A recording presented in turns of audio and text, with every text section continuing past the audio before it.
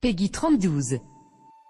Bonjour, salut, c'est Romu. Bon, alors si la vidéo elle te plaît, tu peux la partager, la commenter, la liker. Tu peux même t'abonner, comme ça, ça fera plein d'abonnés Romu. Et tu peux surtout la partager. Hein. Faut la partager en bas de cette vidéo, les gars, parce que cette vidéo, elle est d'utilité publique. Bon, alors on va faire simple, on va t'expliquer qu'est-ce que c'est que ces deux petites photos. Alors, c'est un abonné de ma chaîne YouTube a eu une PlayStation 5 et il a voulu tout simplement démonter le ventilateur pour le nettoyer, ben pour enlever la poussière de sa PS5. Et quand il a tiré sur le connecteur pour tout simplement enlever la prise, ben les soudures sur la carte mère ont lâché. C'est-à-dire que il est rentré en contact avec Sony. Sony lui a demandé de lui envoyer des photos et Sony a dit Monsieur, si vous voulez qu'on répare votre console, ça vous coûtera la modique somme de 270 euros. Voilà.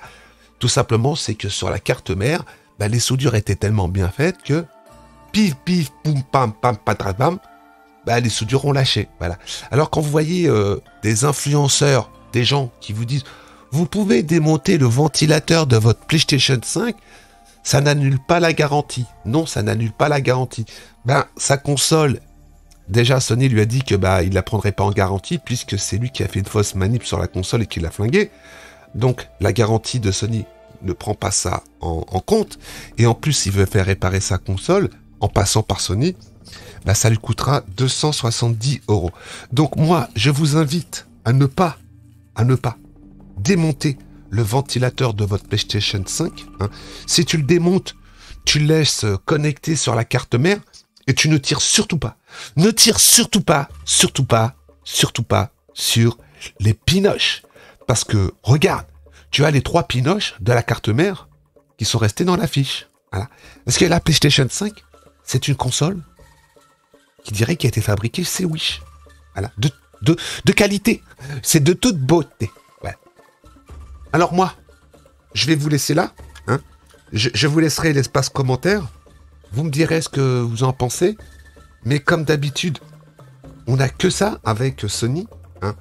Entre le mec qui envoie sa PS5 en réparation que la coque arrive abîmée à cause du transporteur, que Sony lui dit c'est 270 balles pour deux coques en plastique, que ça vaut 20 balles sur Wish ou sur euh, Alibaba, eh ben on se roule par terre. Voilà. Alors je te remercie de m'avoir envoyé euh, ces photos J'espère que tu as trouvé une solution. Moi, je lui avais donné la solution, bah, c'est de trouver un mec qui fait de la soudure et qui ressoude bah, tout simplement les pinoches sur la carte mère. Hein. Comme sa console n'est plus garantie, bah, malheureusement, voilà quoi. Ou d'avoir pris la garantie casse, mais bon, c'est lui qui l'a cassé la console. Donc, ne démontez pas les ventilateurs de votre PlayStation 5 pour les nettoyer. Voilà, faites-vous plaisir dans l'espace commentaire, dites-moi ce que vous en pensez. Moi, je vous laisse là, je vous souhaite une bonne fin de journée, et je vous dis à plus tard pour des nouvelles aventures.